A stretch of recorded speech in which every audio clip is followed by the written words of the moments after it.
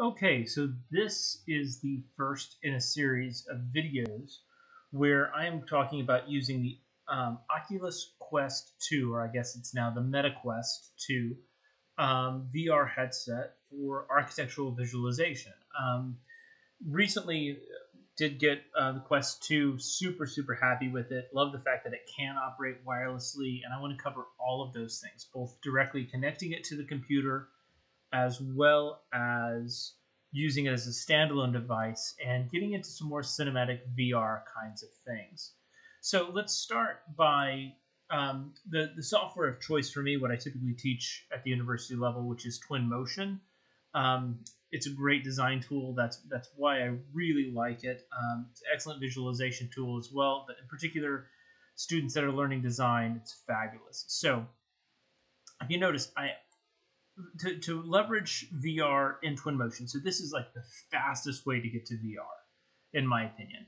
Um, I already have my headset connected, so I've got the Quest 2 connected via the link, which essentially is a USB-C cable. Um, I do. I am using the one that will that you can purchase directly from Oculus. Um, it's a little bit more expensive, but it's one of those um, more guaranteed to work, uh, which makes me happy. Right? Everything is up and running. Uh, Oculus is up. If I put the headset on, I can see everything going on in the headset. It is activated. Super important. That needs to be up and running first. Next, I'm going to launch Twinmotion. So VR headset up and running first because Twin is going to identify the headset upon starting up the software. If it's not connected when it starts, at least how I've been using it in the past, it doesn't see the VR headset. So it's got to be up and running first. I am currently running the 2022 preview, uh, and I'm an educator, so I use the education version. So that's what you're going to see pop up. So I'm going to go ahead and hit launch. And then we'll load up a demo scene and we'll walk through a few options. So also it's worth noting, um, I'm running uh, an Alienware with uh, an NVIDIA 3000 uh, series GTX video card. Um, super, super important. Um, you know, you need to at least be on a 2000 series NVIDIA. Um, I believe I am running a 3070 GTX. I'm really not positive. I should know that, but I don't. Um, so let's load up ThornQuest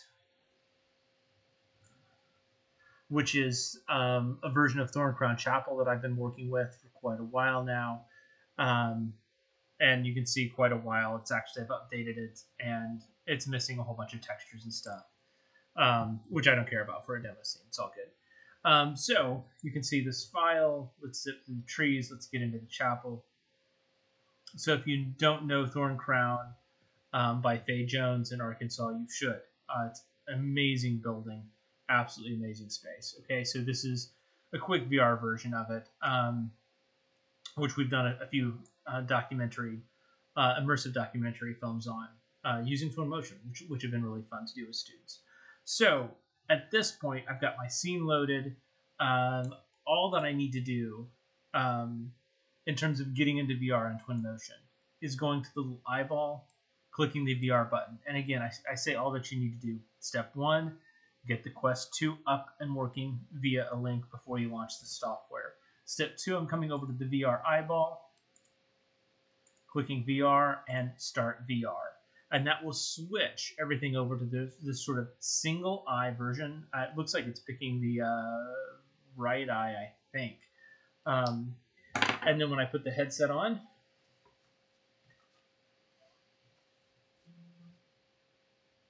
we should have the scene activated. Grab my controllers. So first thing you're going to want to do is go to your settings. And even though I have a pretty beefy laptop, Ultra is way too high. Um, I go to medium, okay? Um, if you have ever run um, VR, you know, it, it can be an instant sick kind of thing. Um, and that's something you never want to do with your clients is say, here, check out this cool thing in VR. And by the way, I hope you don't get sick and throw up. Um, so navigation in Twin, super easy. Um, I've got my little pointer. I can roll my wrist around to change the direction I'm facing when I'm land. Um, and I have a really tight boundary, so I'm going to bring my arms in just a little bit. Every time you're seeing this sort of thing right there, I'm actually getting outside my boundary. So let's kind of work on that just a little bit. But you can see I'm immediately in the space and everything's super nice, super easy to explore, super easy to do via the link. Okay?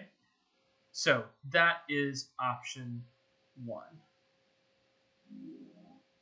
So let's get into right away some of the more advanced options that we can start to do with this um, in the next video.